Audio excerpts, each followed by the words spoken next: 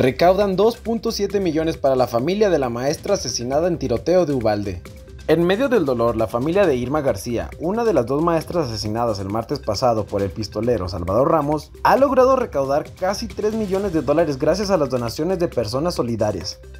Una campaña de donaciones por internet lleva recaudados hasta la mañana del martes 31 de mayo 2.750.000 dólares para la familia de Irma García, y cuyo esposo falleció dos días después por un ataque al corazón que los parientes atribuyen a la tristeza que lo embargó.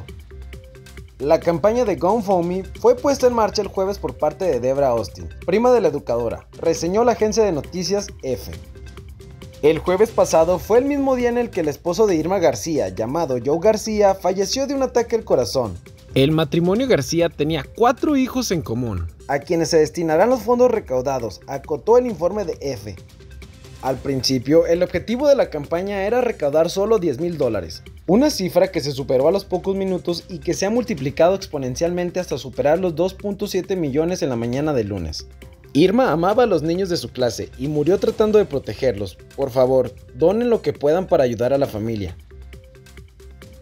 Al referirse a la muerte de Joe García dos días después de la de Irma, la pariente aseguró que él murió de un corazón roto al haber perdido el amor de su vida por más de 25 años. En su mensaje, Debra Austin escribió textualmente, por favor, mantengan a nuestra familia en sus pensamientos y oraciones. Realmente creo que Joe murió de un corazón roto, y perder al amor de su vida de más de 25 años fue demasiado para soportar.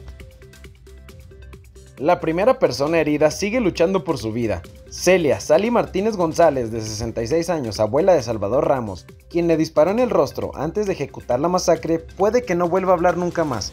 Según contó al New York Post el domingo Jason Ibarra, un primo segundo de la víctima. La bala entró en la mandíbula de Sally justo al lado de su boca y le destrozó todos los dientes, detalló Jason Ibarra de 45 años quien agregó, si la bala hubiera estado una pulgada en otra dirección, le habría volado la cabeza. Ella está bastante bien, teniendo en cuenta lo que pasó, pero es posible que nunca pueda volver a hablar. Actualmente la mujer solo se comunica con sus parientes por escrito, pero incluso eso se le dificulta mucho. Reportó para Mundo Hispánico Eduardo Moreno.